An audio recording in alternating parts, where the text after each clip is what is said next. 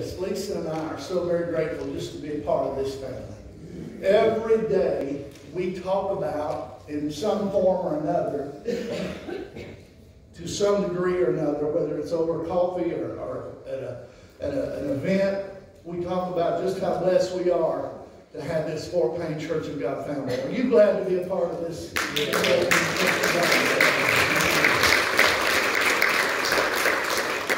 I want you to go with me this morning to the book of Romans. Romans chapter 5. And I'm going to read three verses of Scripture in Romans chapter 5. And just hold your hand there and hold it open for just a moment.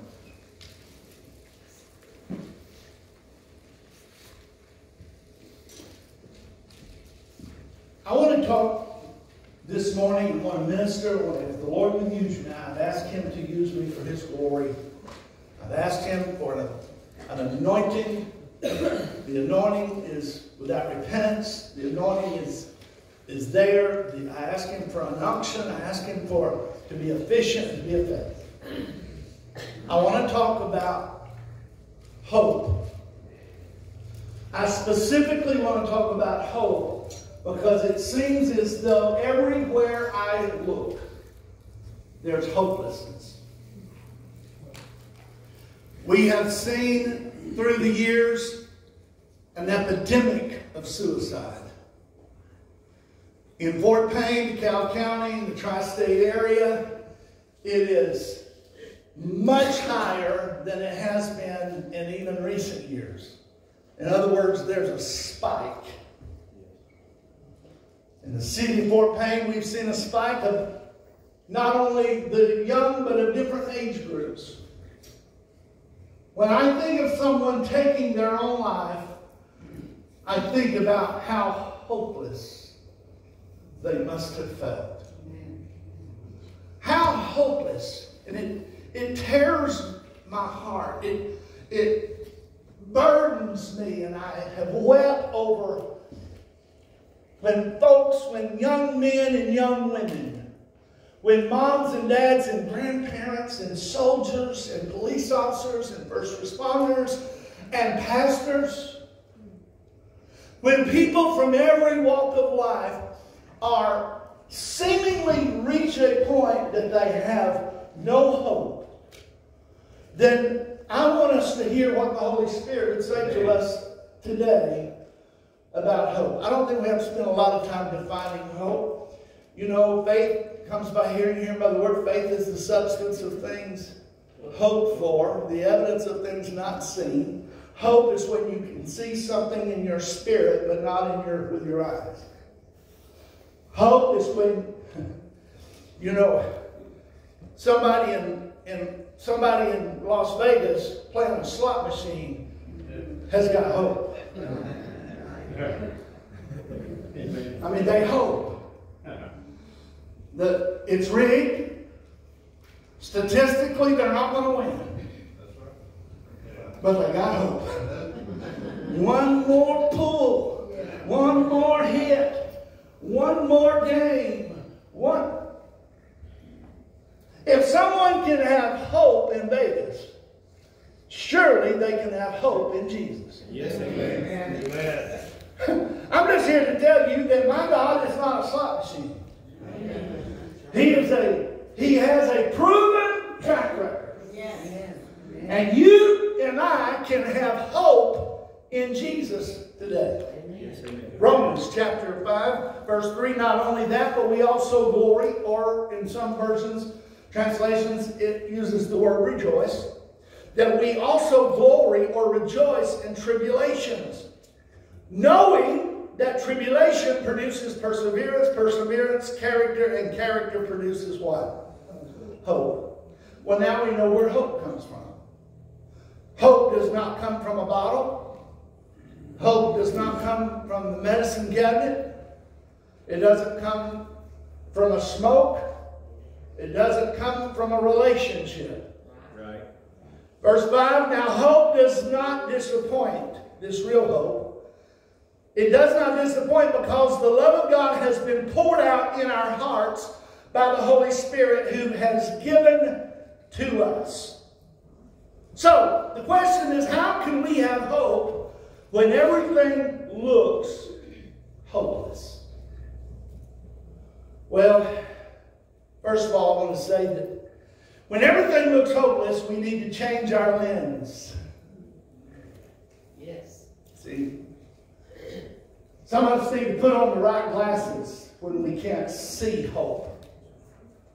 Because hope is there. Some people become intoxicated with the world and the things of the world to the point that they cannot see. I don't understand. I don't know what it is to be intoxicated, but you know, maybe you can become so high or so intoxicated or so influenced by a drug that you cannot see correctly. And when you are drunk on the things of the world and your life has become contaminated with sin and Satan has produced those cataracts, if you would, in your spiritual eyes and you no longer can see hope, I am ministering and preaching to you today. The Holy Spirit wants to remove the cataracts from your eyes. He wants you to know that there is hope in Jesus Christ. Amen. And for some reason, we forget that. For some reason, we neglect that. And sometimes people just rebel against it. They don't want anything to do with Jesus. Amen. When we have hopeless challenges and suffering and situations, we need to do a few things. Number one, I want to tell you we need to rely on God's presence. Amen. Rejoicing in suffering does not mean that we celebrate when bad news comes. Do not misunderstand this. Don't misunderstand James when he, when he tells us to rejoice in trials. It doesn't mean that we celebrate them. It means that it means that we understand the truth about them. And we're going to look at that today. We need to understand that God is with us and that when we're going through trials, this is what I knew in my spirit early this morning as I was, as I was really putting a finishing prayer time on this.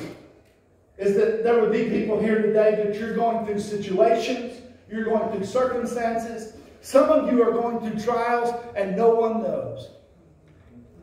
But God knows. Yes, He does. God knows. You can take it to God quicker than you can put it on Facebook.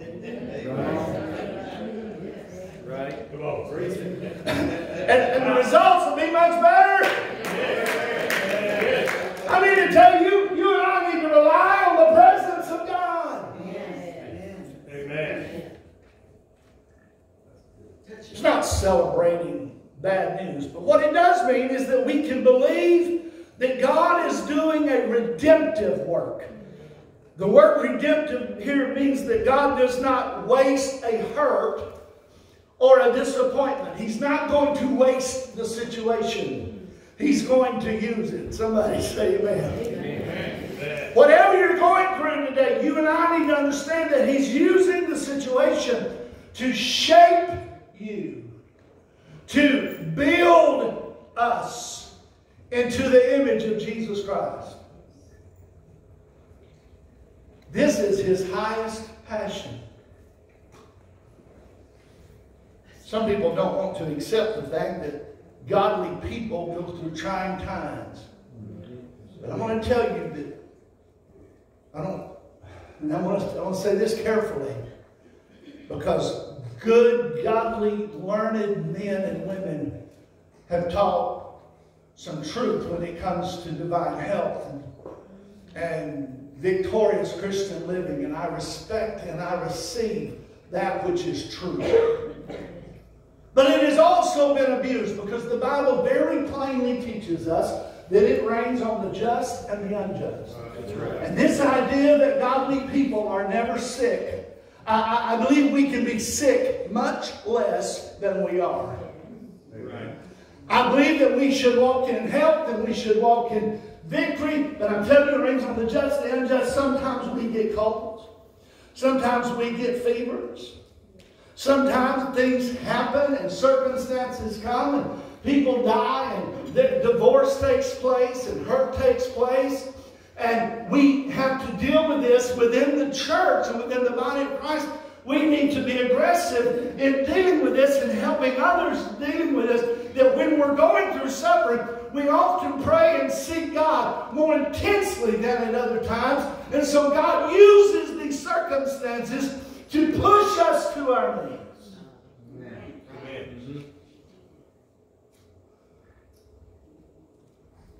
No matter how spiritual we get or feel, God will push us. His presence is there to gently push us, to remind us our greatest times of growth have been when we have reached the end of our resources. Amen. See? And when we have reached the end of our resources, and all we have left is Jesus. Well, God uses suffering to make us rely on His presence. Psalms 23 in verse 4 of the 23rd Psalm, David writes that he does not fear because God is with him. He relies on God's presence and it, it brings him strength and it brings him comfort. Remember that for there to be a shadow, there has to be a light. Let's let's just talk a minute about darkness. What is darkness? There's not a scientific molecular makeup of darkness. Darkness is not something you find on the periodic table. Darkness is simply the absence of light. That's right. That's right. See? People say, I'm walking in darkness. Well, you're walking in the absence of light. And so we need to work on getting the light. Hallelujah. See? See, a shadow is nothing but the light shining, and there's an obstacle, and there creates a shadow, and that's where a lot of people, and that's where somebody here today might find yourself. You say, Pastor, I'm in a real dark place. I'm in the valley of the shadow. There it is. I'm in the valley of the shadow of death. I'm in a dark place mentally. I'm in a dark place spiritually. We're in a dark place relationally. My marriage is in a, a, a dark place. My, my mind, my, my situation, my finances, my, my career uh, is in a dark place. Well, I've got good news. The sun is still shining.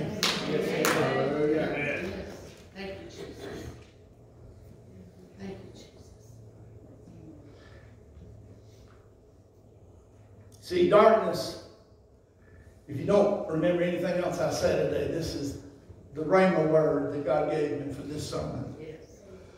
Darkness is a temporary reality.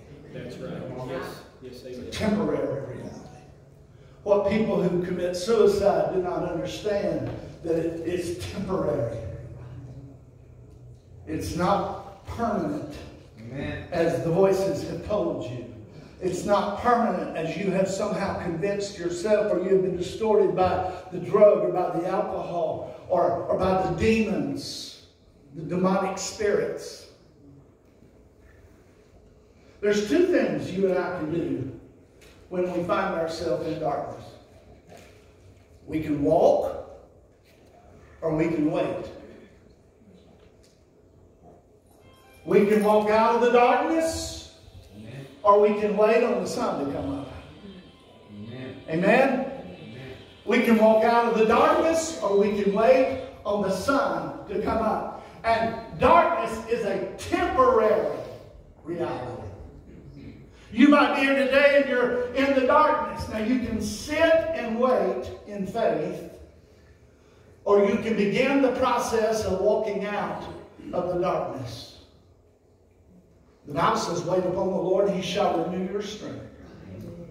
Then he says some really good things happen when you wait upon the Lord, he renews your strength. You shall mount up with wings as eagles. You shall walk and not faint. You shall run and not be weary.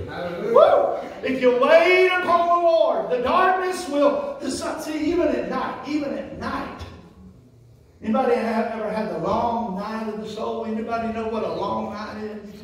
Anybody ever know what it is to have a headache or to have a pain or to have a sorrow or to have a burden and you can't sleep and you look up and it's not even midnight?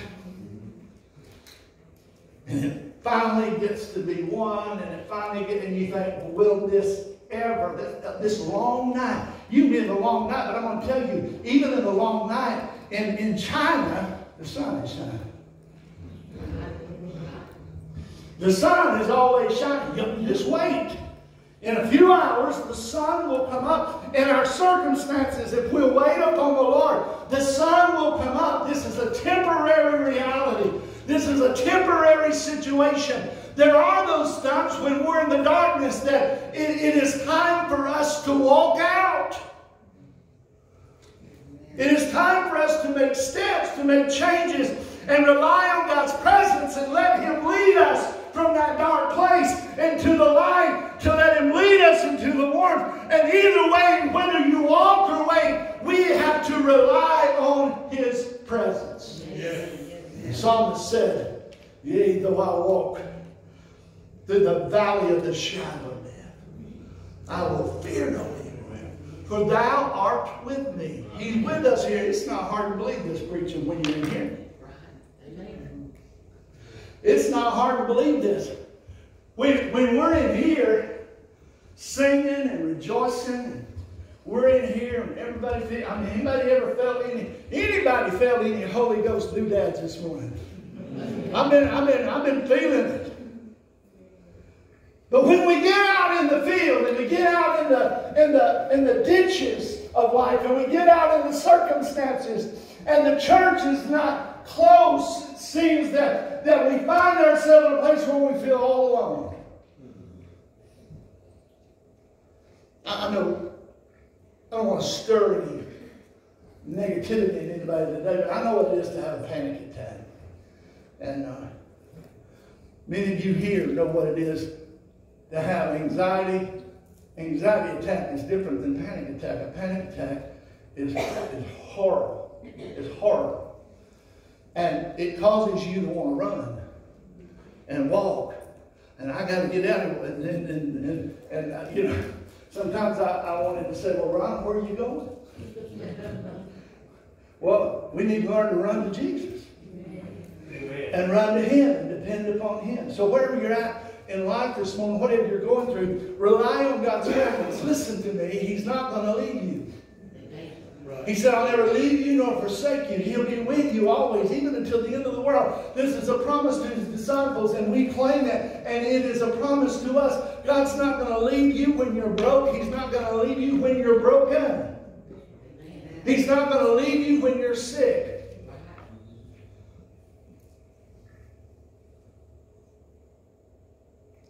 In another psalm, David reveals that one of the reasons for his joy is that he is forgiven. Blessed is the one whose transgressions are forgiven, whose sins are covered. Psalms 31 and 1. We can't determine God's love for us based on good or bad circumstances. Do you hear that?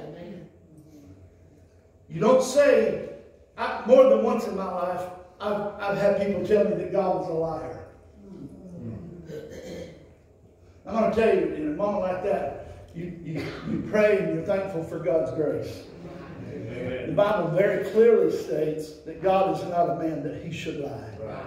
I'm going to tell you, God can do anything, but the one thing he cannot do is lie.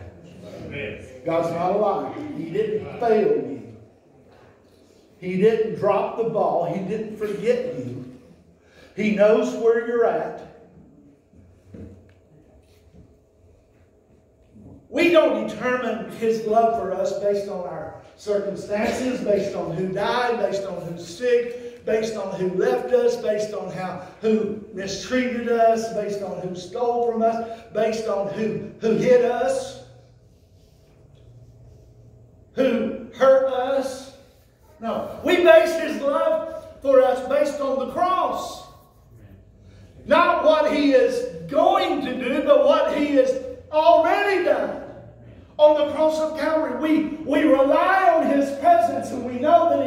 because he gave his only son. He gave his only son for us.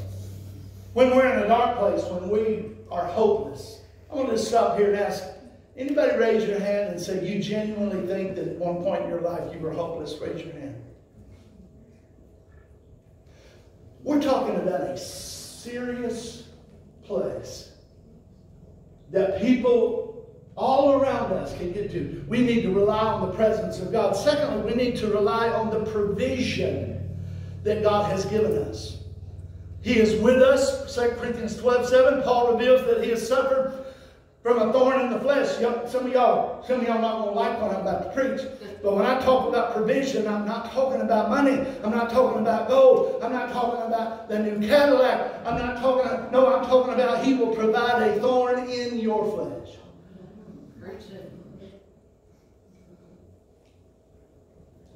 God was so concerned about Paul he was so concerned that he would not become proud that he allowed this to happen to him. Nothing has happened in your life that God did not allow. That's right. Amen. That's right. I want to tell you, a thorn in the flesh is not fun. But it is provided by God to make us more like Him to make us more like our daddy, to make us walk like him and to talk like him. And while we're praying for God to remove the thorn, God is saying, I'm trying to use this thorn. And we're in a tug of war with God. In our current situations, God is saying to us that His grace is sufficient. Even when we feel weak, He's making us stronger. His grace is not a hypothetical idea. It is the person of Jesus through the power of the Holy Spirit. The trials, the challenges, the sickness that you're going through, uh, it may be the very circumstance that God is using to take you to a whole new level. We, we come to January 1st and we pray, oh, we got a new resolution. We, God take me to a new level. Are you sure you want God to take you to a new level? Are you sure you want God to use you as never before? Are you sure that you want the gifts operating in your life? Are you sure that you want God to use you? Because I'm telling you, God doesn't prepare us the way we prepare ourselves.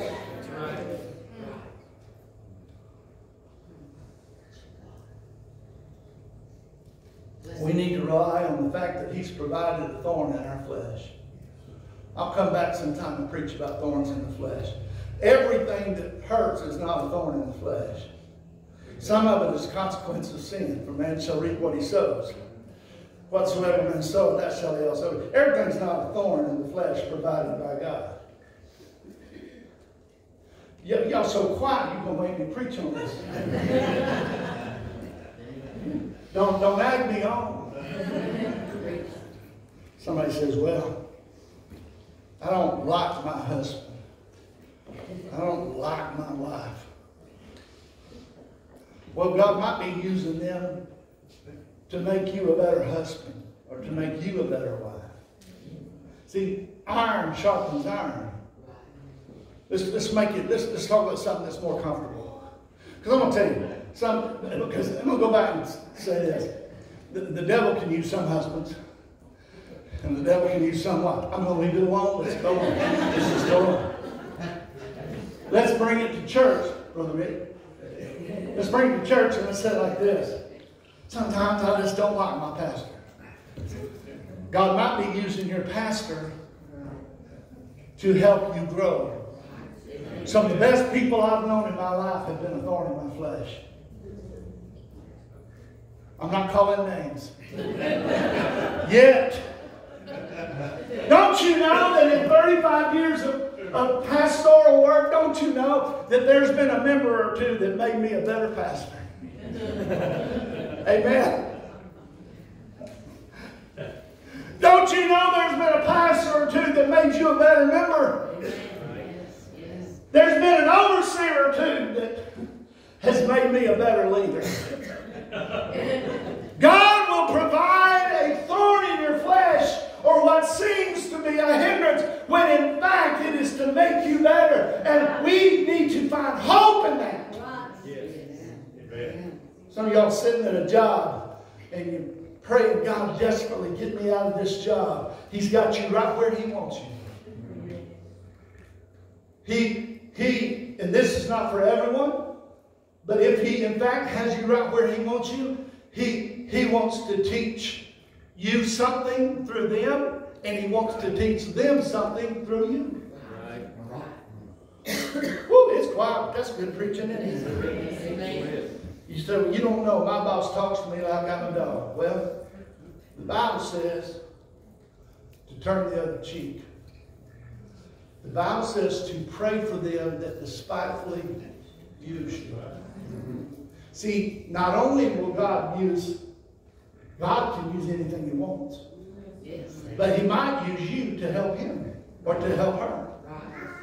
So let's rely on what God has provided. Third thing this morning, if, if you're in a dark place and, and, and you're in a, a place of hopelessness, or maybe you feel like you're inching toward that, you've got a decision. Do I need to walk? Do I need to wait? Pastor, what do I do? Well, you rely on His presence and you rely on what He has provided. And last this morning, you and I are going to rely on His power. Not our power. Greater is He that is in me than He that is in the world. We are not going to walk in the sin of self sufficiency. I've heard people say this I got this. I got this. Sometimes I want to say, You ain't got nothing. Come on. No, I got this. My mama told me, I got, my dad said, no, I got, I've learned, I've, I have thought, I, I'll do this and I'll do that, I got this. No, you, you, you need to quit, quit handling things the way you always have. And you need to rely on God's presence, His provision, and His Holy Ghost power, not your power. Not our power, but the Holy Ghost. We need to rely on the power of the Holy Ghost. Amen. Everybody in here needs to be seeking for the baptism of the Holy Ghost. Everybody needs to walk in the power of the Spirit. Amen. Somebody says, Well, I don't know about that speaking in tongues. Well, well I humbly say I do. And and I, am not being a smart at it, but I'm telling you that if he has the power to make you speak in other tongues, then he has the power to help you do whatever else you need.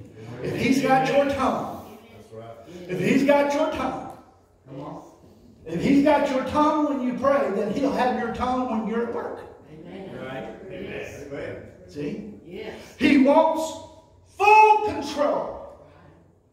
He has the power, he has the provision, he, he, he wants to do a work. He said, My grace is sufficient. Therefore, most gladly, I will rather boast in my infirmities. 2 Corinthians 12 and 9, that the power of Christ may rest upon me. What is your weakness? Maybe it's a son or a daughter that hasn't quite turned out the way you thought they should. Let's just, let's just talk about this a minute. No, let's just talk about this. I, I don't want anybody raising their hands. And we're going to wait to play, but just look. My my job is primarily, I didn't say completely, but primarily my job was to introduce my children to Jesus.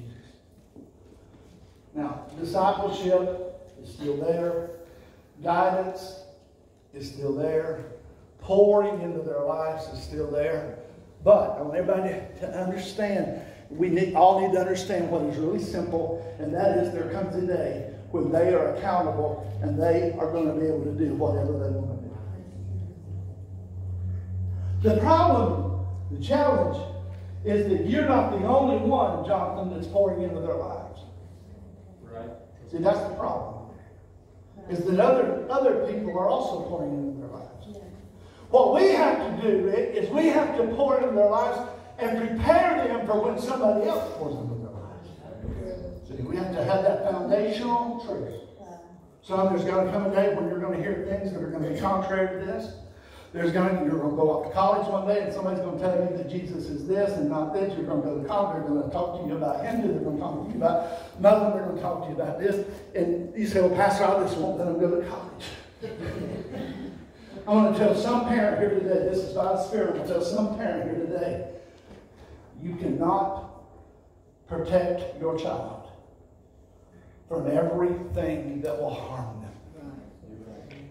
I remember that season in my life when I got to the point that I realized that I can't always stop the rock from hitting my son. I remember the day when he wobbled and wrecked his bike and broke his arm and came running to me. I remember standing there thinking I wasn't able to wasn't able to grab the bike, I was too far away. Maybe you're going through something today with your children and it hasn't turned out the way you planned. It rarely does. It rarely does. My heart has bled this week. My heart has, let me say it like this, my heart has been broken. For the family of a young man that last weekend became hopeless. Blaine stood in this building not too many months ago when Hunter and Amber Womack were married last year. I talked with him, and this young man somehow reached the point where he was hopeless.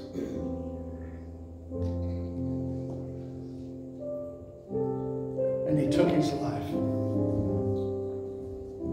My goal and my vision for this church is that we are a place in the ministry that provides hope. The only real hope that we can provide is in Jesus Christ. To rely on His presence, to rely on what He's provided, to rely on His power. Maybe you're here and you hear voices telling you just to quit, give up. What that's what happens with suicide. What does it look like to give up? People, people tell me a lot of times, Pastor, I just feel like giving up. Well, what do you, what do you mean give up? What does that mean? Does that mean you're not going to get up in the morning? Does that mean you're going to, oh, I, I see what you mean. That means you're going to take your life? You're going to just end your life? I want to tell somebody here today that just because you end the function of your brain does not mean that you end your eternity. The body, the soul, and the spirit, that, that when the body becomes uh, unable to facilitate the spirit, it leaves. And when one commits suicide, the body dies, the spirit leaves. Now we're looking at eternity. Amen.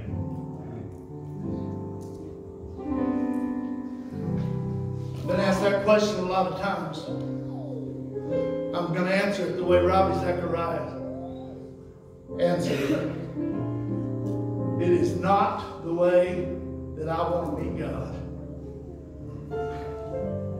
It is not the way that I want to meet God. Stand